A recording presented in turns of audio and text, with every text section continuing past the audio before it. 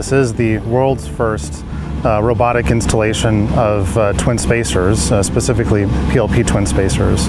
Um, so we're pretty pretty stoked about it. It seems to be going really really well. Uh, we're nearing the completion of the project, and so far things have been going great. We are currently about three hours west of Kansas City at the High Banks site, which is a, a project that has been constructed by Kiewit Construction. High Banks is 75 mile, 345 kV project going from Belleville, Kansas all the way to Frankfort. This is the first project that we've introduced our CSR-18, which is our robot for installing the dual line spacers, um, as well as our first project for installing the PLP spiral version bird diverters. Project itself has gone incredibly well. It's been a great combination of ourselves working with a contractor like Kiewit. So today we're installing spacers for PLP for biconductor bundles. Um, and we just put the robot up on the line and contractor runs it down, installs the spacers. The best thing about the robot, in my opinion, is that it allows for the installation to be consistent as, as if they were doing it in the traditional methods.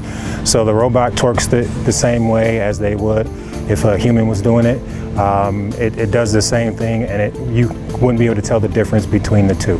The main advantage that I look at with robot as opposed to spacer buggies, typical spacer installation, is uh, eliminating safety risks uh, for our people. I know here at Kiewit, our number one goal to eliminate those risks is engineering the risk out. I mean, with any mechanical operating system, there's potential for failure, and I would much rather have a robot fail and potentially fall to the ground than anybody on the wire.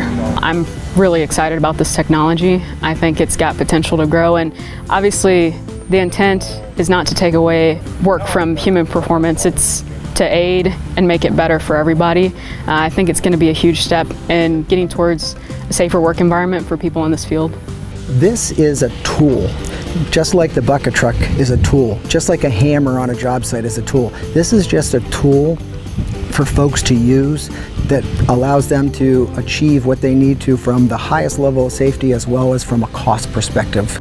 Oh, I think this saving the time and the manpower, I think you'll see a lot of a lot of this going. Like you said, these spacers, I think you'll see this all over. I think the buggies will probably be a thing of the past. It's been a great opportunity for us at Fulcrum to really uh, work with a contractor like a Kiewit where we can um, leverage each other's experience and knowledge as it pertains to the transmission lines. These Fulcrum guys have been really good to deal with. They, they helped us out and of course we like the PLP stuff too, but used a lot of it. But no, it's just, it's been a learning process, pretty interesting. It's probably no surprise to anybody, there's a huge piece of what we're doing from a safety standpoint. And as utilities and line contractors continue to look within their four walls of how they can improve from a safety perspective and bring the highest level of safety to a job site, to a project, that's where Fulcrum wants to be, right there next to them, side by side, marching down that path to find those best solutions for, for not only achieving safety, but gaining productivity and allowing them to be successful with these projects projects.